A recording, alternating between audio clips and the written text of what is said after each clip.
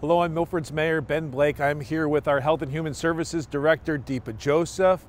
Uh, the CDC has updated their guidance on booster shots for our COVID vaccines, and it's a little bit complicated. But to provide some details and some background, Deepa. Thank you, Mayor Blake. Um, so, booster shots, there's a, little bit of a distinction um, between third doses of COVID vaccine and booster shots. So, for third doses, those are people who after their first two doses of Pfizer or Moderna maybe didn't get their full immunity um, because they have some severe immunocompromising conditions.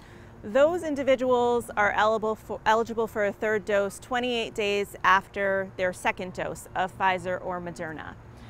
And then last week, the CDC approved booster doses for a larger group of the population specific to Pfizer vaccine. So if you were vaccinated with Pfizer for your first two doses, six months after that second dose, if you fit into one of the following categories, you would be eligible for a booster dose as long as you're six months out. And that would be people who are 65 years of age or older, people who are 50 and older but have underlying medical conditions, and then long-term care residents.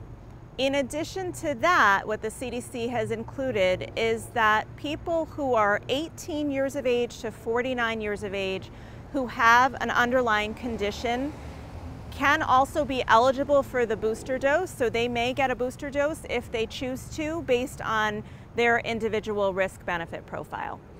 Individuals who may be at increased risk of COVID transmission or infection due to an occupational exposure may also be eligible and they just need to weigh their individual risks and benefits, um, but they would be also eligible if they're six months out from their Pfizer vaccine. So stay healthy, Milford, and be safe.